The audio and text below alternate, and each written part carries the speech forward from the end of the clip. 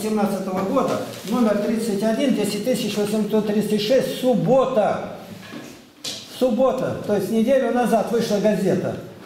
И вот здесь есть одна статья довольно интересная. Участник этого события среди нас, вот прочитай, с выражением, с толком. Называется как заголовок? Заголовок «Господь всегда меня крепил». А, Жители... всегда меня Крепил. крепил. слушай, Жительницы Потеряевки с настоящим русским именем Серафиме Гавриловне Плотниковой 20 июля на самом деле исполнилось не 90, а 91 год.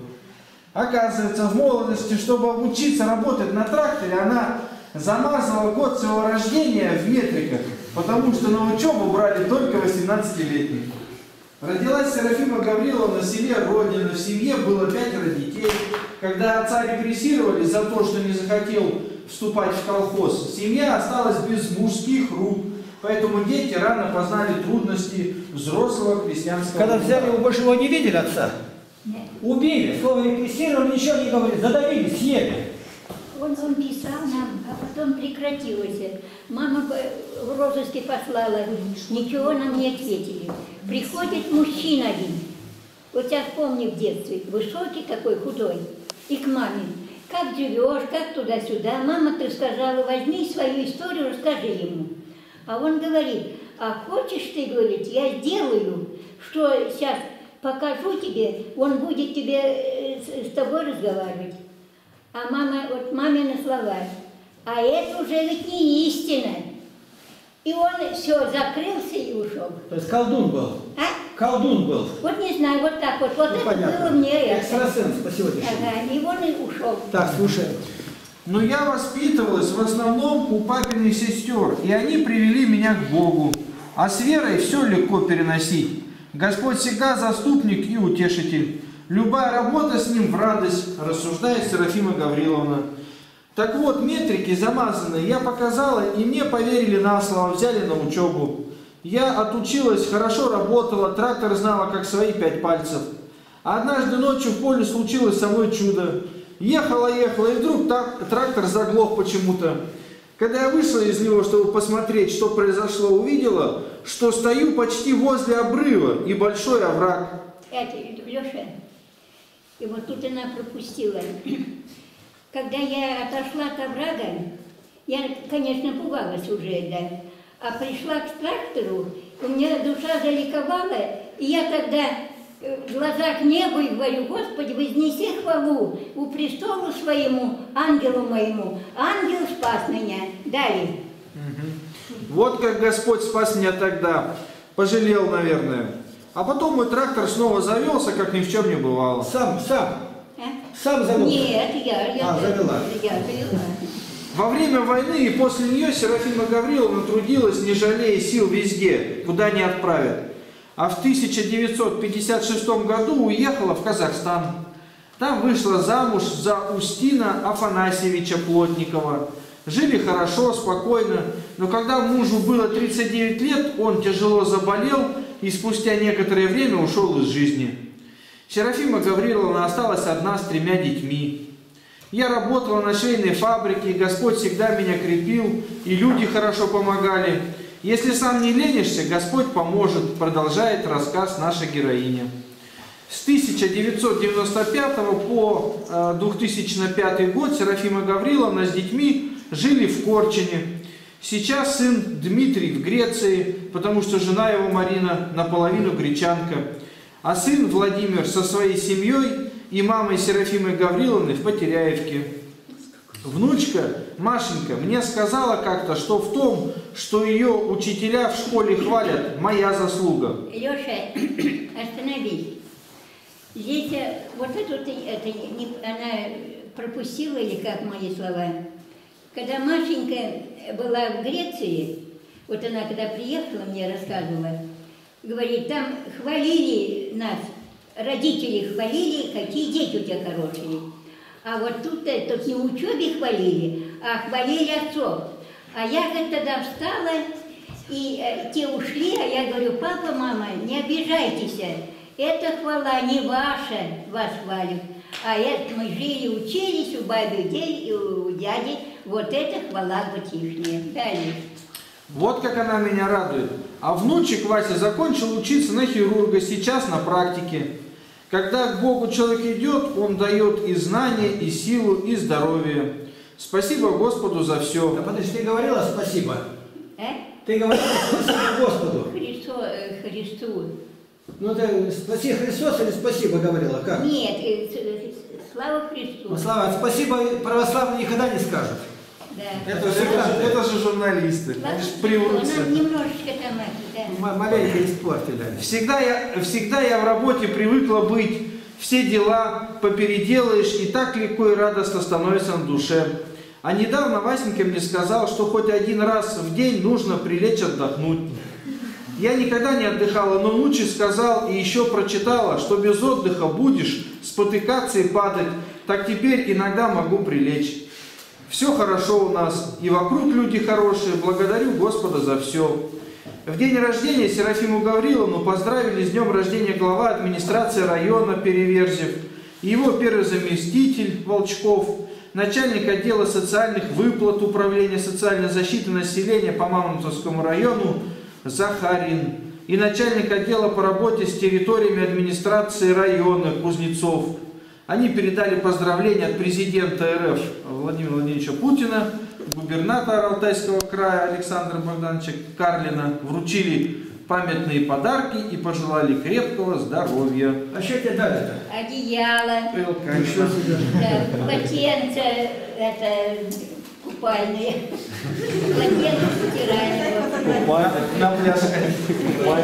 Так, а какой газета? Письма тоже. А, не делай. А куда их хватит?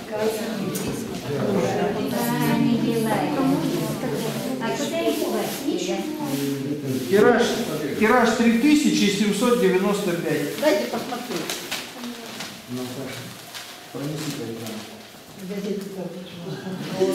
Надо было принести поздравления от Путина и от. Там трех. Трех, ну, Там такое поздравление было это все. Да прямо песня на бумаге. Прям да, из Москвы прям прислали. Вот это да. Ну, на следующие занятия я вам принесу.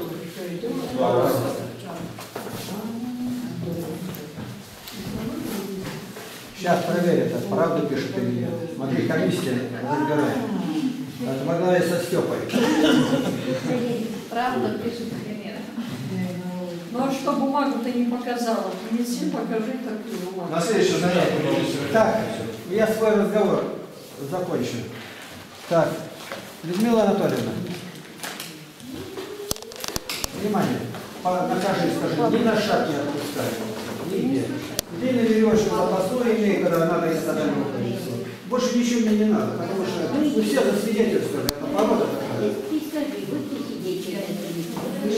Так, газета. Это Сейчас я принесу, поздравления. Зажмете. Так, подождите пока, еще что-то будет. Она и тоже там. Ну, не обязательно. Все уже поверили. Поздравители сейчас как Так.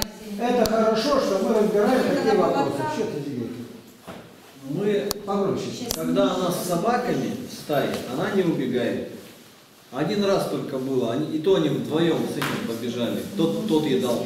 А когда она с моими, она с ними играет, с собаками, она в стае. Она она- отвязана, никуда не бежит Со- собака. Но смотри, это когда она с собаками. Но мы сейчас ходили до кладбища. Она говорит ко мне, она подходит ко мне. Можешь убежать. Это один раз. У меня не убегает. Раз убежит. Может убежать. Ну, даже за деревней нельзя отпускать собаку. Вообще не отпускать. Отпускай, но если бы она подушит, тебя предупреждали. Ну это мои же, я же, не ты же будешь, не ты будешь платить, не Игнатий Ты будешь платить, я буду платить, это же Плати, мой. плати, отпускай, плати. Я отпускаю, я готов платить. Я Вот все. Я на привязи собаку Просто дело в буду. том, что не очень хочется, чтобы скотина не очень. Ну понятно, что не хочется, ну а я собаку тоже завела для того, чтобы она на цепи сидела. Я на цепи не сажаю. Прости, ну а я Человека пострадавшего принципе, можно говорю, понять, а может быть что- Павла. Ты мне, допустим, телефон, тысячу рублей, да на тебе тысячу рублей. Ну мне же обидно, ну у меня же там контакты были, ну, ну я же привык, тут фонарик, ну чисто так Ну вот. ты как хочешь свой собаку, хочешь на цепи держи, это право Да каждого нет. хозяина. Это право каждого хозяина. У меня Валер, у меня Валерий, и когда его просто, что... Где у вас Вот позвольте, я вам приведу пример. Э, В Новосибирске, значит, такой случай у нас был. Э, Там парень выгуливал собаку. Собака, видимо, серьезная была. Вот. Ну и она, у нас там по лесу ходим, мы это самое, ходили всегда ночью даже, ну, как вызовут нас, или как бы я Машинисты, да? ночью по лесу, да. Там. железнодорожный? Да, железнодорожный. Вот. И он там выгуливал уже поздно. И главное, срывает, э, он ее тоже отпустил гулять, вроде ничего. Но он же знает, что все равно люди здесь ходят. Она бросается, значит, на одного парня. Но благо у него там, значит, был какой-то, короче, я не знаю, какими путями, но у него был боевой пистолет. Вот он, видимо, на всякий случай где-то его купил и, и ходил. Хозяин. Не хозяин, Человек. а вот тот А, человек, который, да, помощник или машинист, не знаю. Вот. Ну и он, говорю, когда на него бросается, он там, он хозяин, он говорит, убери собаку, убери собаку. А он стоит, вроде улыбается там. Да что, она не кусается? Она бросается. На меня, помню, тоже бросалась, так я, не знаю, я это свой портфель этот, ну, сумку свою, ему, чтобы она не, хоть если кидалась на это. Вот. И какие-то люди безответственные. В этом случае должны ответственность. Так что он сделал? Он ему раз, два, три сказал. Он тогда вынимает пистолет, он не убирает хозяина. Он говорит, нет, не собаку, хозяина. И все. А дальше она видит, что хозяина все упало, все, и она уже, и собака растерялась. Понимаешь? Собака чувствует поддержку очень даже. И ответственность должен быть все равно хозяин. Все равно хозяин. Значит, если ты говоришь, если ты знаешь, что собака, она дурная, ты ее не отпускай. И, и чтобы твой голос ко мне, чтобы она была у тебя. А не то, что ко мне, ко мне, она вперед. Это не собака. Ты знаешь ее, значит, держи постоянно на привязи. Ходи с ней, бегай, ходи и все прочее. Понимаешь? Поэтому это не отговорка. Действительно, каждый, ну, Я хотел сказать, у нас строестроительные жили, ну, барачьего типа. Ну и у соседей маленькая собачонка была, она как кошка под пол в дырку залазила. Мой отец приехал, а что собака бегает? Она вот такая вот, ребенка укусит. Да какой ребенок? Никого нет ребятишек-то. И скажи, в этот день ко мне пришли какие-то ребятишки с родителями, и она укусила. А отец только пришел, первый раз увидел, ну-ка, брысь отсюда, я тебе половинки кирпича профугую. Как, как будто он знал, что в это, она никого не кусала, а в этот день ребенок, и она его укусила. Сергей Павлович рассказывал, одна идет по базару, продают щенков. Он то ли хотел спросить, или еще, ты помнишь, молоденький щенок, он цап за ногу с хозяином рядом. Щенок совсем. Это порода. Это порода, ее надо знать, характер ее и Батюшка беречь. порода, а не дрессированная, хочет Ну, порода, но надо за ней Москва, Кремль. Надо за ней Вас предупредили, надо принять, принять, принять меры. Все. Ну вот жди беды еще. Жди беды. Ну, все, значит, надо убить Так, все. Сейчас пойду скажу Василию. Ты же меня остановишь, такая ты спокойная девушка. Москва, Кремль. Что попало? Люда как зарядит. Смотрите. Москва, Кремль. Так, на, прочитай. Здесь что? Президент Российской Федерации. Читай, Владимир Владимирович, к сторонку. Ага. Уважаемая Серафима Гавриловна, сердечно поздравляю вас с юбилеем. Точка. Вы выстояли в годину тяжелых испытаний, сохранили веру в правое дело, в добро и справедливость. Опаленная войной молодость, вся ваша жизнь всегда будут, э, всегда будут служить для нас и для будущих поколений ярким примером беззаветной любви к Родине, силы духа и несгибаемой воли. Желаю вам здоровья, благополучия и всего самого наилучшего. Владимир Путин, президент Российской Федерации. У него подпись-то какая, видишь? Чтобы никто не подделал. Малограмотный человек пишет, ни одной буквы нет. Так, второе. Администрация Алтайского края с юбилеем. Плотникова Серафима Гавриловна. На, распечатай. С юбилеем, открыточка такая. О, ого, ну считай. Уважаемая Серафима Гавриловна, примите самые сердечные поздравления с вашим славным юбилеем. Отмечать такую солидную дату удается только самым сильным духом, трудолюбивым и честным людям, не привыкшим пасовать перед трудностями. На вашу долю их выпало немало, но вы сумели с честью вынести все испытания, были поддержкой окружающим, вырастили и воспитали детей. Ваша жизнь – это достойный пример беззаветного служения своему Отечеству и в праздники, и в будни, и в годы военного лихолетия. Точка. Ратный и трудовой подвиг вашего поколения всегда будет служить для нас высоким нравственным ориентиром.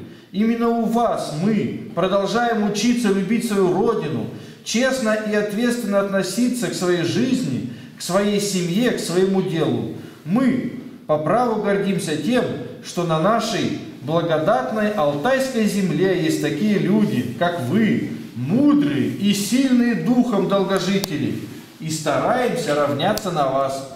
От всей души желаю вам крепкого здоровья, активного долголетия, благополучия вашему дому, всем родным и близким.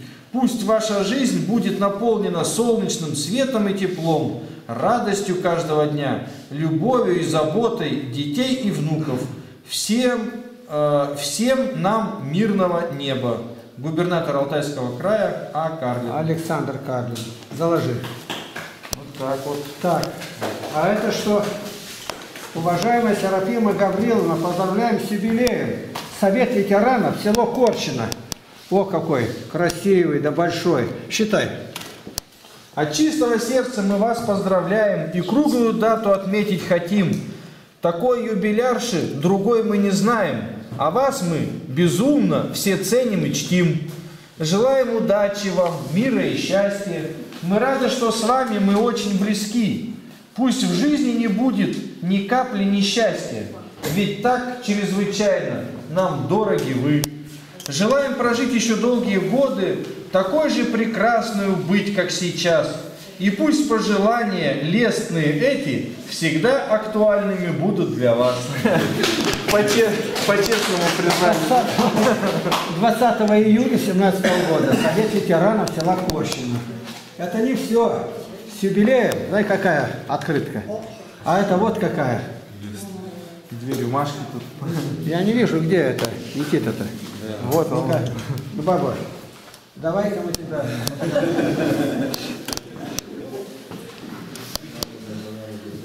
Ну-ка, читай последний. Дальше. Ну-ка, что-то с юбилеем. Кто тут пишет? О, Уважаемая Серафима Гавриловна, примите теплые, сердечные поздравления с замечательным юбилеем.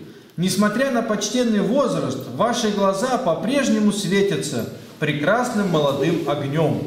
Вы являетесь примером для нас.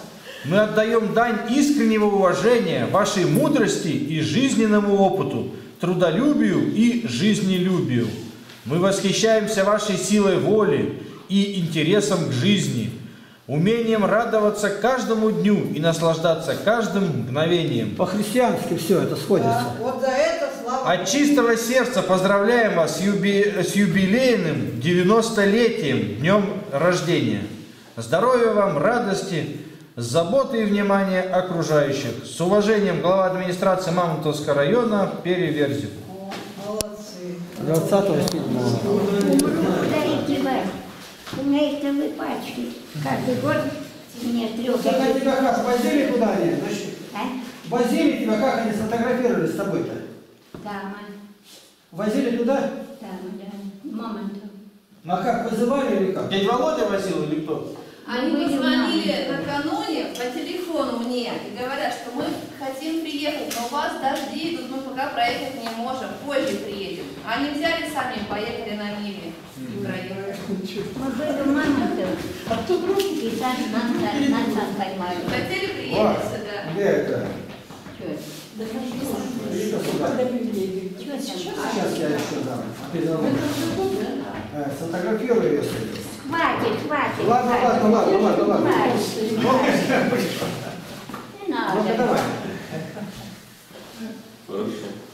Хороший? Да не надо. Потом Путину отправим, скажем, что мы передали письмо. Отойду, куда и девать? Гроб ложить? Память останется твоим внукам. А Володя так говорит, оставь свое. Конечно, это А твоим он да не нужно Музей откроют, почему Так, нет? Елена, пожалуйста, прими. Благодари. Ну что, благодари.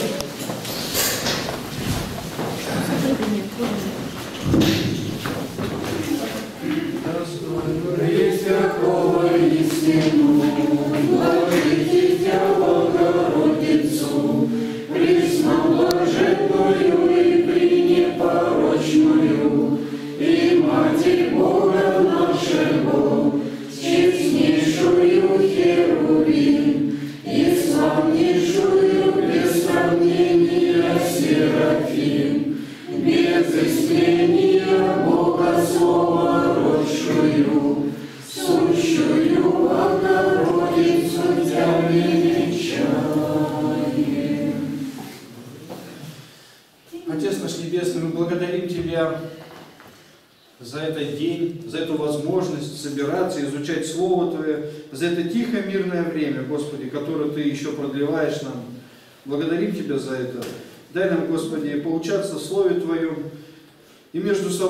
дай мир и любовь во всех наших делах, отношениях, Господи.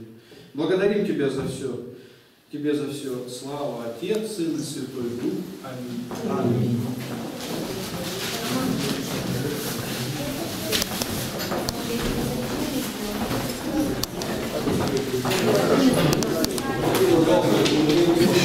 Никто не предупредил, что она может забиться.